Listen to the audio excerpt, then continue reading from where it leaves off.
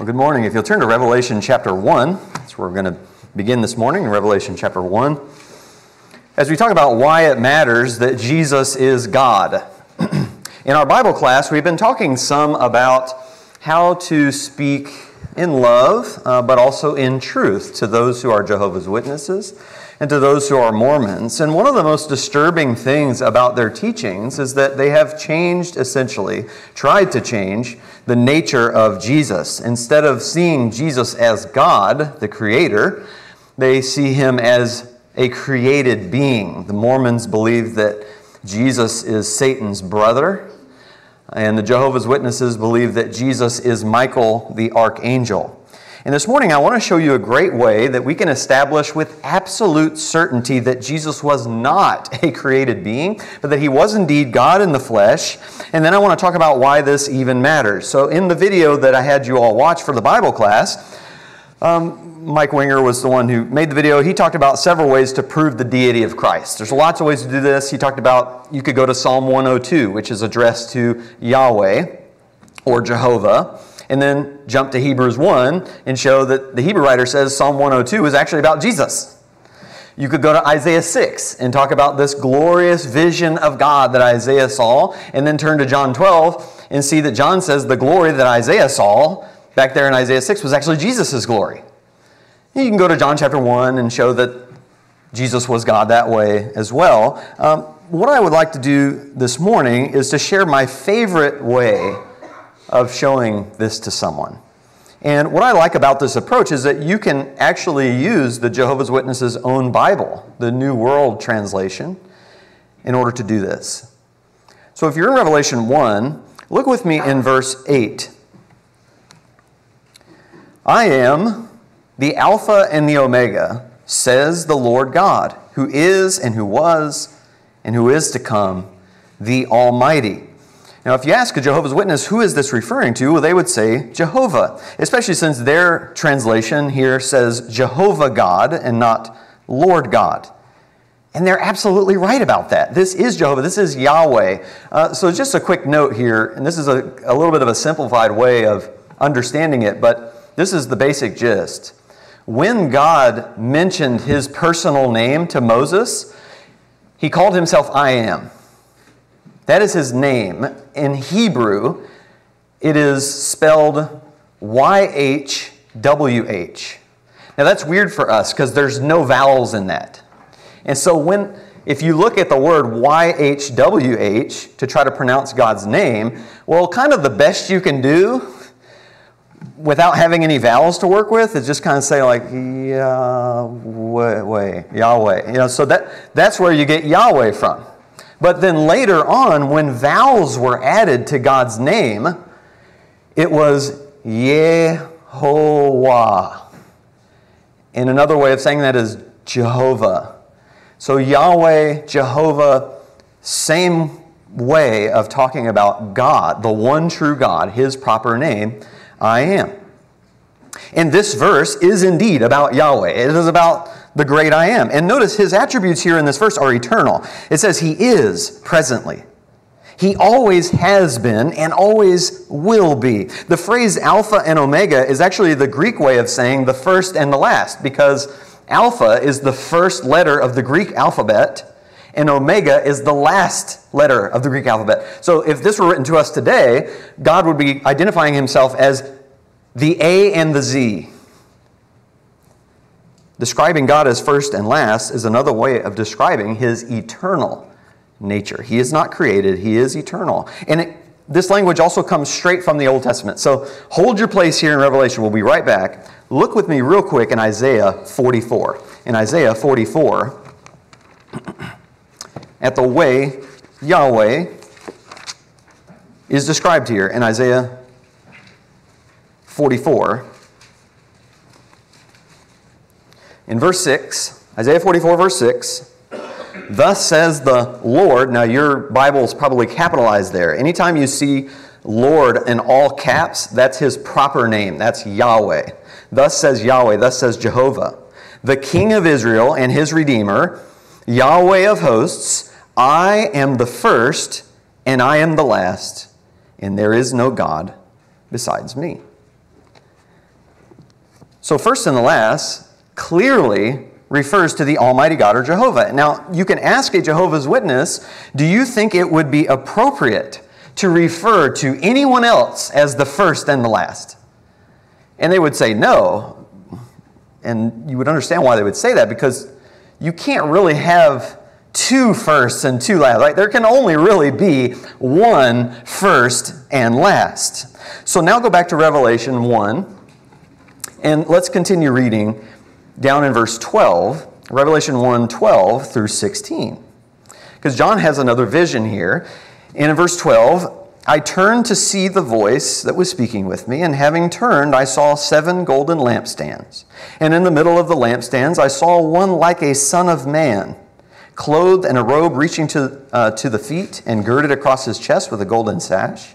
His head and his hair were like uh, were white like white wool, like snow, and his eyes were like a flame of fire.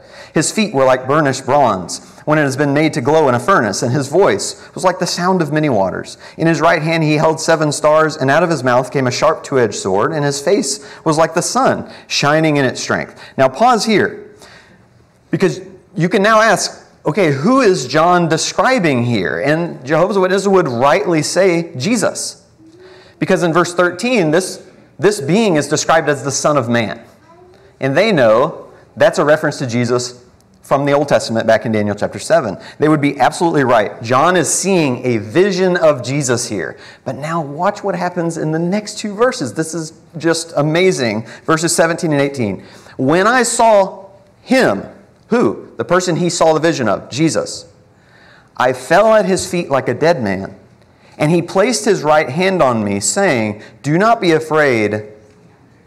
I am the first and the last and the living one. And I was dead, and behold, I am alive forevermore, and I have the keys of death and of Hades. Jesus calls himself the first and the last here.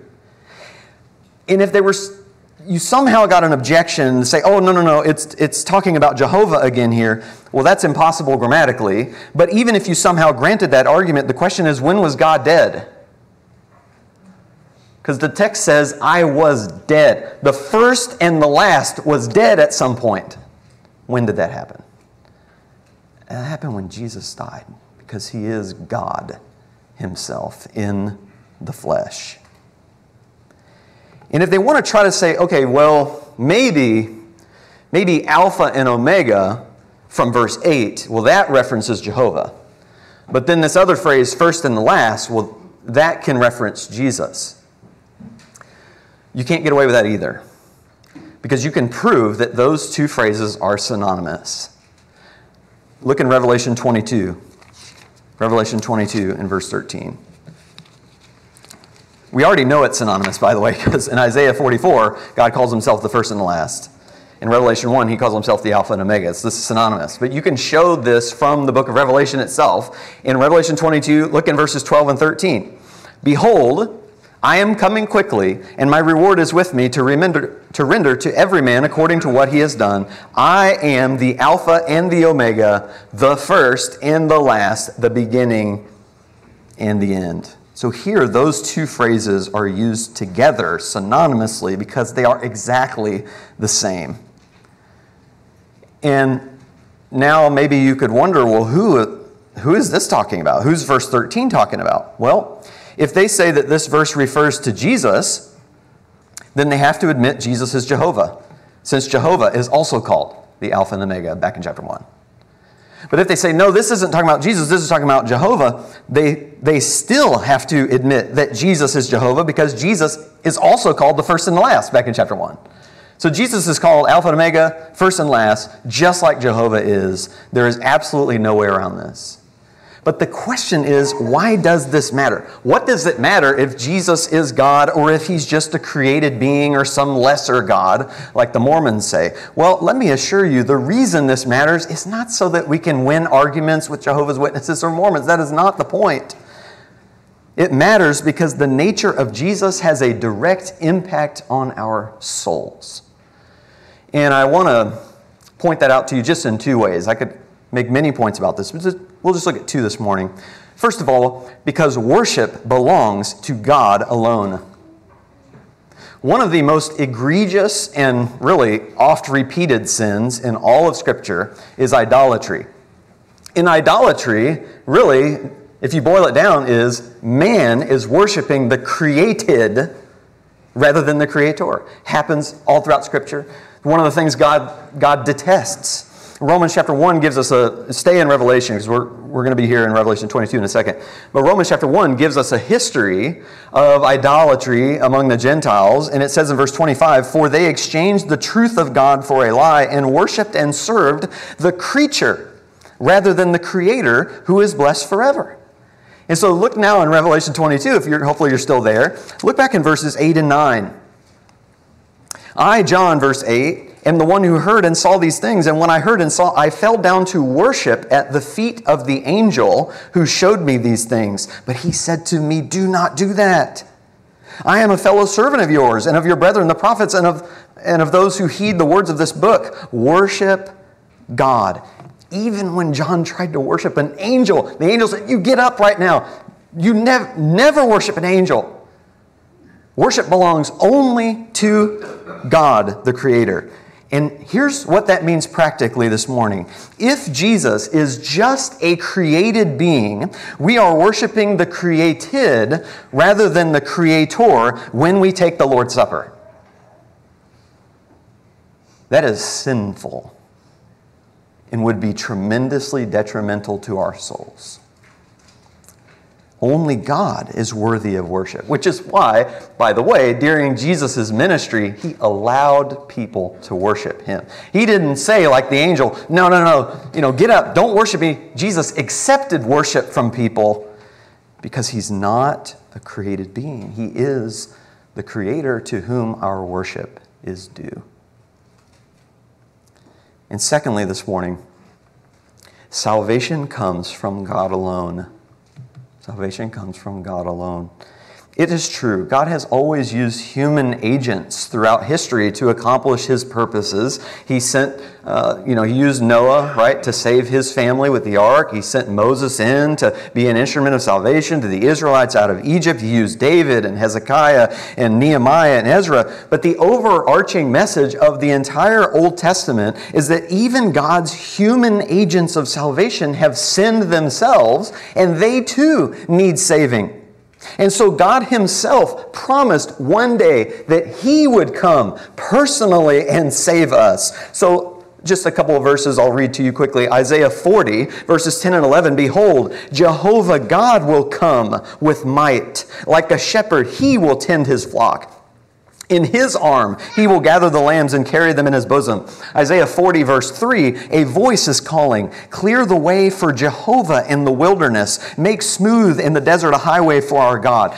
Now, what's amazing is Isaiah 40, that's a direct prophecy of John the Baptist, who was indeed a voice crying out in the wilderness to clear a path for Jehovah to come to his people. And after John finishes clearing that path for Jehovah, who comes? Jesus. Jesus shows up because he is Jehovah, the one John was preparing the way for. You see, God wasn't going to use a mere human being or even an angel to save us, but he was going to put on flesh, come here himself to save us. And if you think about it, that's really the only way this could have happened. For two reasons. One, our sins are ultimately all against God, so only God can forgive us.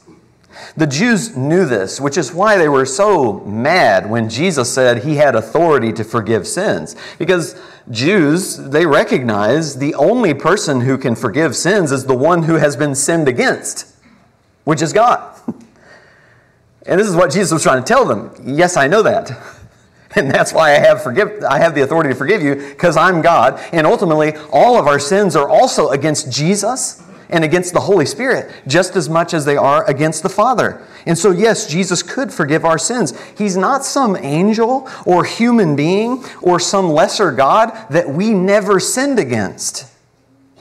He is the God whose wrath we incurred and the God who came to save us from that wrath because of his great love for us. And finally, this morning, The reason salvation only comes from God is because only the death of God could atone for the sins of all of humanity.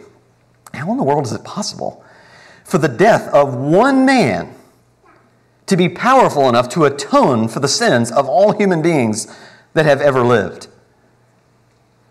You know, you'd think you would have to take account of how, I don't know how many human beings have ever lived, billions, I don't know, maybe hundreds of billions, if you counted them all up over time. And you'd think, well, you'd have to offer the same amount of sacrifices, right? At least one sacrifice per person uh, to forgive them of their sins. But yet, with Jesus' sacrifice, it covers all of our sins, the sins of every human being to ever live, all the way back to Adam. Do we really think the death of an angel could accomplish that? Or the death of some other lesser God? No. Only the blood of the one true God could have that kind of power. And I'll finish by reading Romans 5:15. If by the transgression of the one man Adam the many died, much more did the grace of God and the gift by the grace of the one man Jesus Christ abound to the many. As we partake of the Lord's Supper. And let me say this another way. As we partake of the supper this morning, given to us by the Lord, let's remember it matters that Jesus is God. Because worship belongs to Him alone, and only He had the power to save us.